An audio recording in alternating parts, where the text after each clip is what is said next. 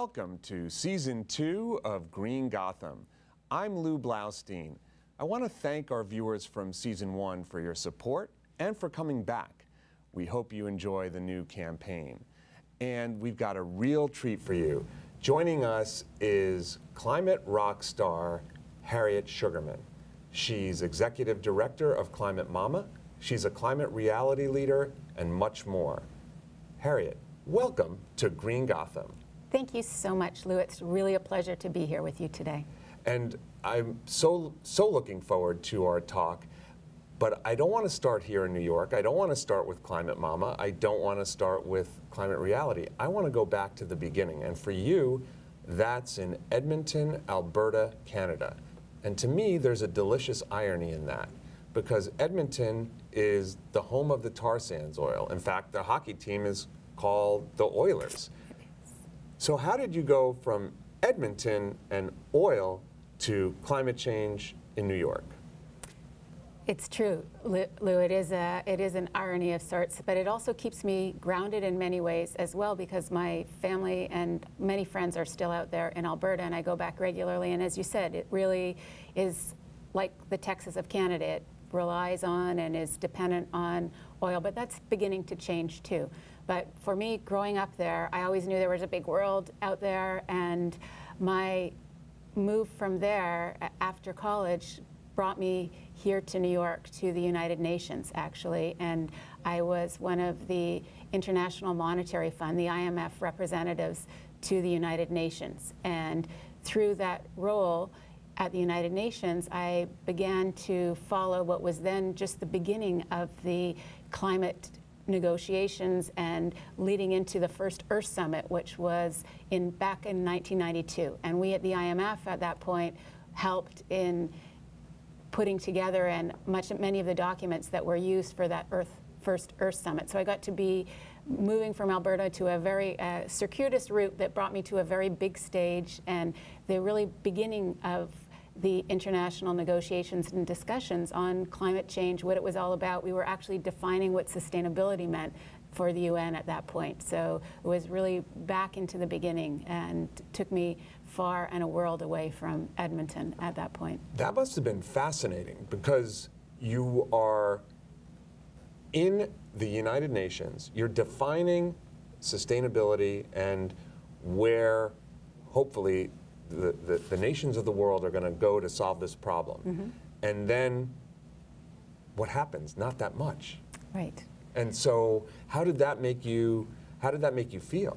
Right. You know what it was? I spent uh, 13 years at the United Nations, uh, full-time, 10 years and three and four years after that with a fund uh, back and forth. And it was fascinating to be on uh, this big stage. And in many ways, though, I came to feel that I was really at a learning place for diplomats, a place where people came to learn how to negotiate, and we'd stay up till three and four in the morning negotiating an and or a but or a that or an or, and it, it became, for me, especially working on environmental issues at that time, while I learned a lot and learned how difficult it is to come to agreement when you have over 190 countries coming to. You think? Yeah, yeah, I think, um, and it it was frustrating personally for me because I felt like we were making very small progress. Uh, I, coming away from it, though, I recognize there is a role and an importance and a place to have those higher level agendas and uh, agreements reached, but when you are in the midst of it and going through it, it felt to me, and we've talked about this before, as not much was happening. Uh, and it really made me jaded a bit about the whole process. But you are also, as you're doing this decade long and more uh, tenure there, you are becoming schooled in climate science and you're becoming schooled in the reality. And then when you would talk with your friends back home and your family back home in Edmonton and Alberta where the oil is flowing, like was did they get what you were doing and were they supportive? What was that like? you know, my family's always been very supportive of what I was doing, but I have to say that back then, back in uh, the early 90s and the mid 90s, when I was attending all of these international conferences that were looking at aspects of climate change, uh, the Habitat for Humanity, the Women's Conference in Beijing, uh, and we were doing these big agenda items, the tar sands wasn't what it is today. It was really, you know, only beginning to evolve and develop in Fort McMurray in Alberta. The oil in Alberta was much more accessible. It wasn't through tar sands. It was like Saudi Arabian oil. You basically stuck uh, a drill in the ground and oil came out. So really, it's only been, you know, the last 10, 15 years that the tar sands have really evolved and developed, um, and really much more recently, and that it's become financially feasible for those companies to be able to take the oil uh, that way out of the ground. But back then, you're, you know, the, the Albertans, they weren't like, "What are you doing? You're, you're, you're."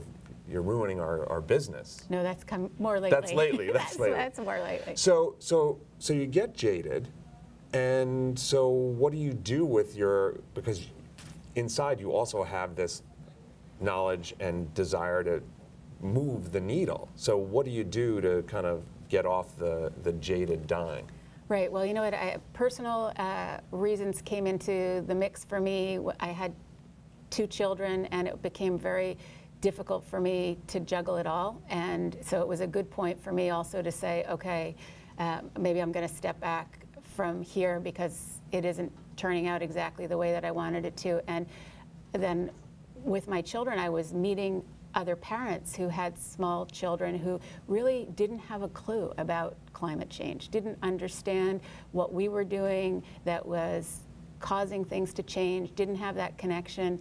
And so it was very interesting to be on this very big stage where you're talking and meeting people from all over the world, working at a very high level. And they're living it every day. Every day, and you're talking about it the issues at a very high level. And here I was then coming down and meeting people at the local level and seeing what was happening and what wasn't happening. Going to my children's nursery school and seeing water bottles piling up over garbage cans and people not making the connection, never mind to recycling, but to the oil that goes into making the shell of that plastic bottle that is being used. And recognizing there here in the United States that there is a lot that needs to be done to help educate people at a very grassroots local level. Never mind that whole big world that things that are happening internationally, but unless we implement what they decide at this big high level on a local level, uh, nothing's going to happen. Going to happen. So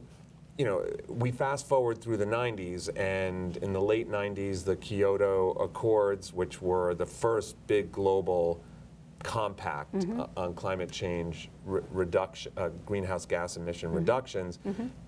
the U.S. didn't ratify. Right. And and then we get into the early 2000s, and uh, the Bush administration takes over, and they become, in, in essence, hostile to climate change and, mm-hmm. and anything environmental. And so then what do you do as we get towards the middle of the decade? Right, and so for me, something very exciting happened because I was trying to figure out how do I take this? How do I take what I've learned, what I know needs to happen? Because we, the evidence too, also in the early 90s, we didn't have that scientific evidence. We, we talked a lot about it. We knew that things had to change and be done, but really it was in the early 2000s that science started to really show us too. It was showing us, but that we had multiple peer-reviewed studies. Yeah, we started coming out with the IPCC, the Interpanel on Climate Change um, reports that were really showing us that where they were very hesitant in the early 90s about saying it is caused by us. Uh, uh, now they're saying it is definitely caused by us. We are doing things that are changing our world and our environment in ways that uh, have to be changed. And it was around that time that Al Gore, uh, in the mid 2000s, was making his film An Inconvenient Truth, and where shortly thereafter he said he was looking for people. He was looking for people to help share that story. And and so, full disclosure, Harriet and I know each other from something called the Climate Reality Project. And that's what Harriet was just referring to is Al Gore's nonprofit. that he started in right around the time of an inconvenient truth Absolutely. with the idea that okay he was the former vice president almost president speaking from on high mm-hmm. he needs people from the grassroots the yous and the me's of the world to tell the story just like he did in the movie to community groups and build up from the grassroots so he trains people and has for the better part of a decade to go out and give the slideshow that was the, the heart of an inconvenient truth. Harriet, you got involved at an early early stage with this uh, with the training with Al Gore. So, talk a little bit about that. I did. It was really thrilling. I was in one of the first cohorts the uh, first year after Mr. Gore decided that he was going to run this training, that he needed to reach more people. It was 2006, 2007. And he did the first training, which I wasn't part of, at his farm with about 50 people. That would have been so cool, Amazing, and I amazing. applied for it and I didn't get it. You got in the first group. That's pretty pretty cool. Right. So I was uh, just, a, uh, it, there were four other trainings that year that were done in Nashville, in Tennessee, and I was in one of those. They were small groups. We had uh, not 50, but we had 100 to 125 people in each of those groups. And yes, and we were figuring it out as we go. He is a big part of the trainings. He comes and spends a day telling you how he put each slide into order, what's happening, why it's like that. The trainings have changed now in the last eight years since When then. Harriet says he spends the day, okay, he spends the day. Mm-hmm. He he talks to us for eight hours, and it's interesting. Yes, it's it is. fascinating. And I know you're out there thinking eight hours, Al Gore, not interesting. no, eight hours, Al Gore, fascinating. Continue. fascinating. He's so passionate about it. And it was an opportunity to be able to have these amazing, because we had the slides, the original slides from that Inconvenient Truth film, to be able to take them. And of course, I'm not Al Gore, and where people might listen to him for an hour and a half, they're not going to take that same amount of time with each of the individual people that he's trained. But you get this, um, these amazing slides and an incredible resource because you get him, you get a team of scientists, you get uh, media people that help you then learn how to do this and take it out into your own community. And at that time, it was really about giving the slideshow, which I've given close to a hundred times uh, across the U.S. and Canada. Now it's become more also about acts of leadership. Um, I was the district manager for Climate Reality in New York, New Jersey, Pennsylvania, and Delaware, uh, and we've grown since that first thousand people that were trained in the first year uh, to close to 6,000 people around the world now. And we met when I got trained in 2012 in San Francisco. Yes. And one thing that I noticed, and I'd love to get your take on it, you know, when you saw the movie An Inconvenient Truth, you know, it, and that and the slides, it was kind of depressing. Mm-hmm. And but as I've noted with the Climate Reality Project since then, they've really flipped it and made it much more positive in terms of the tone, in terms of the solutions orientation of the climate change problem, solutions to climate change. Speak a little bit more about Absolutely. that. And, and I feel that as I've grown up in the climate movement and as the U.S. climate movement has, has evolved, because it really still needs to get much bigger. But what we started with Climate Reality, where I think people felt that we're in the movement that if we just tell the truth, if we just show people what's happening and how bad things are, everybody's going to want to change and do something different. And oops, exactly. And people instead wanted to hide their, you know, shut their eyes and not see that because it was too big, too hard to get your arms around, seemingly, and and that didn't work. Or because they didn't like Al Gore. Or because they didn't like Al Gore. I always say he was the best thing that ever happened to the fight of, against climate change, and he was the worst thing that ever happened to the fight against climate change because because he's a politician and 50% of the people don't like him. They Right. automatically put that bias against whatever he's saying. Right, and I think that climate reality is all of the many thousands of people now that are there and making it their own, both the slideshow and the message, and finding their way to reach their communities. And the community that you speak to as well too and then people identify because they want to hear the story from you. So as you said that's exactly what's happened. We've switched it to focus on yes let's tell the story but let's make it let's tell our own stories and let's look at the positive. Let's look at all of the wonderful things and the many opportunities that while we live climate change there are incredible opportunities that it presents. And that's, and we were talking off stage about that's the way to present it. Mm-hmm. Because every problem has solutions. This is many problems, right? There are many solutions. Mm-hmm. This is for the younger generations coming through. Learn about how to make, learn about the potential solutions, put those into practice. You'll have a job and you'll save humanity in the process pretty good. pretty good All right. So, you climate reality, you're doing that, but then you also say to yourself, climate mama, and how does that come into being? And how do you have time to do it all? Right. Well, that was a few years later after my training. I, I was figuring, so how I want to dig deep into this. This is, it was my aha moment, as Al Gore talks about, but it, w- it really was where I felt this is what I want to do. This Which is your aha moment was? was uh, uh, after the training and saying, aha, I can impact people's, I, I can help people get this message. And they're listening to me. And I. That must have been so empowering. w- it was, it, it is empowering. I think that it is empowering to actually feel like you are really helping people understand and get this. And you never know when you talk to people, who is it that actually is going to change the world, right? Who is going to be that person that is going to actually move things through change in policy, through inventions, through whatever it is? You never know. And that was my learning from being at the UN too, that, you know, you, you meet all these people and, and you feel nothing ever happens. You never know, though, who there are that one leader or that one individual that takes what that message and makes it and turns it into something else. So I decided I was meeting a lot of, of parents. I had these two young children who are now teenagers, but at the time, I felt like there is an audience that they can relate to me, they can hear my story, hear what I know, and will listen to me.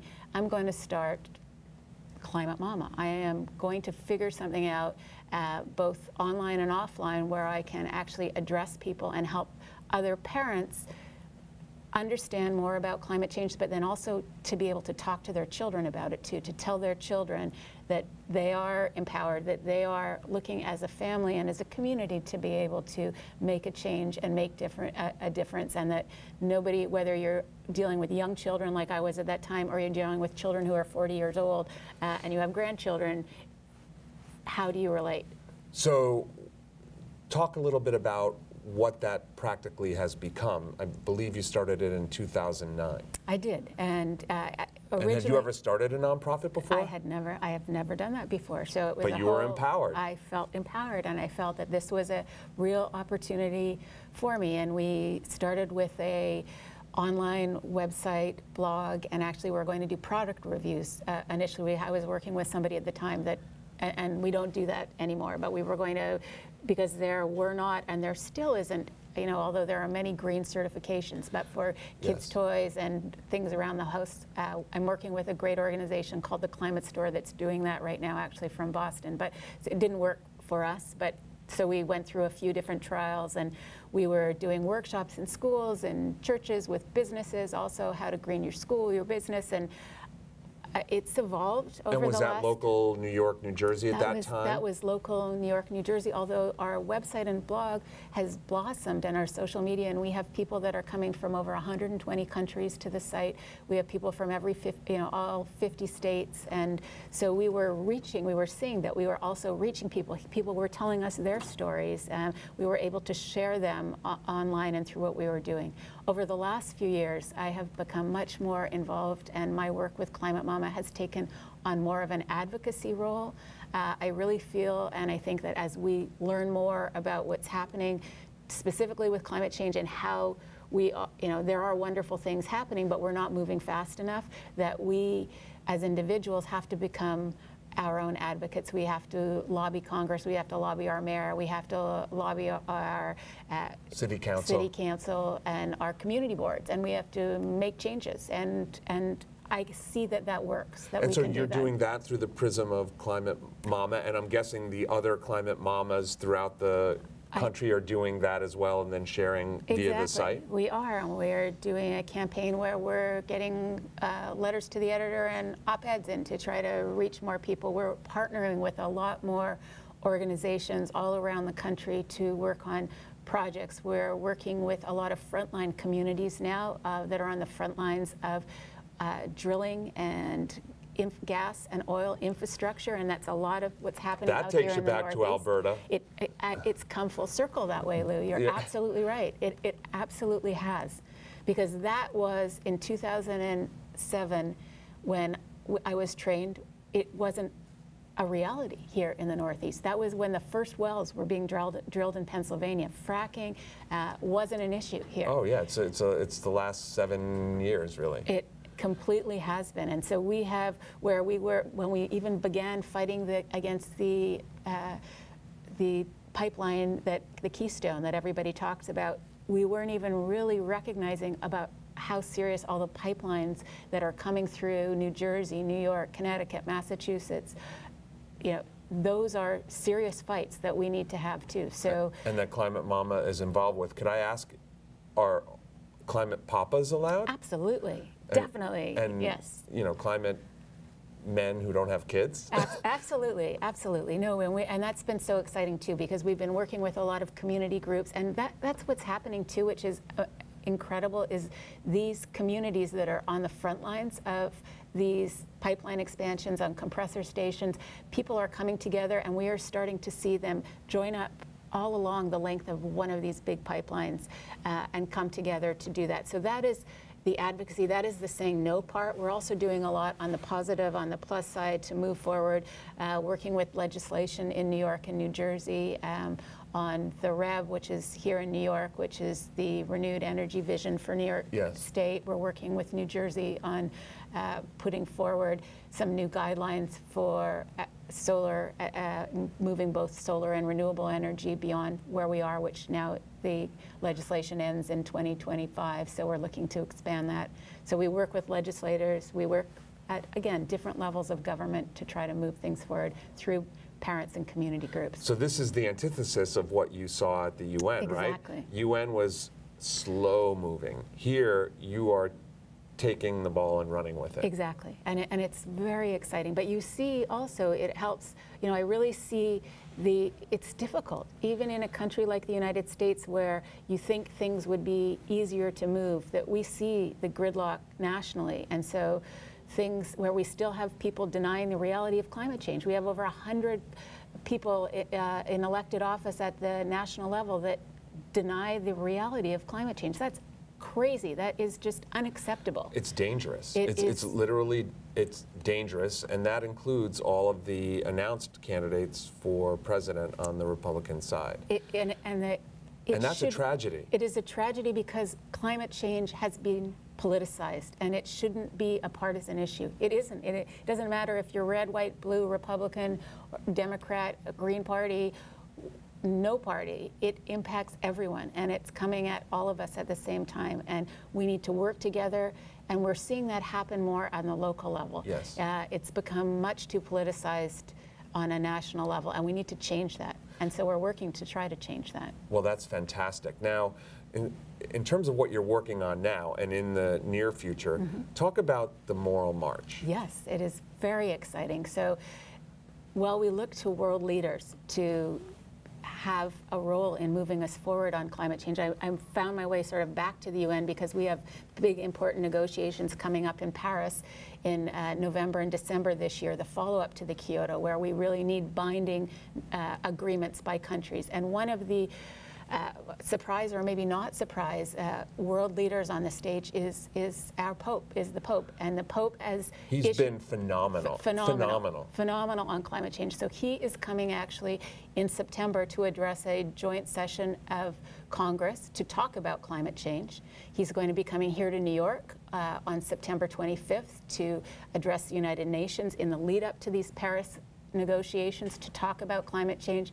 And we are working together with other climate reality leaders, actually, and many, many groups uh, on the Moral March for Climate Justice, which will take place the main march in New York, uh, excuse me, in Washington, D.C. on Sunday, September 20th.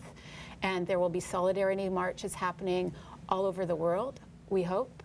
Uh, that's the plan. And the goal for the march is It's just actually the goal for the march itself is to identify climate change as a moral issue. It is a moral issue and one that we all need to address to support what's happening as people come together to recognize that we need to have action. There will be follow-up action. So for example, the next day after the march on the 21st, we'll be going to congressional offices, office of some of those deniers, those, uh, those people that question or are not moving on climate action, and we will be asking them to take action on climate change. And so the march actually is just to galvanize people around the issue of climate change as a, as a climate justice issue, as a, as a moral issue, uh, and then to start asking and demanding answers and things for Paris to actually be on the books, that we actually come up with binding agreements. And it's great that the Pope, obviously a moral figure, Mm-hmm. is going to be following up the march with his speeches to Congress and then at the UN. Exactly. Uh, we are almost out of time. This has flown by. Wow. Uh, and so I want to sh- I want to get your take because we've been talking about the local. I want to get your take on President Obama on climate because I know, especially in the first term, he was not graded well. You know what he is doing, given the constraints that he has, with a, uh, he's doing really incredible things with the Clean Power Plan.